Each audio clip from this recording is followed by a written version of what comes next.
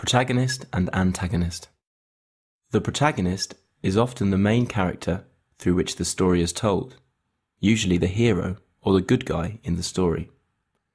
The character in the story who opposes the protagonist is often called the antagonist.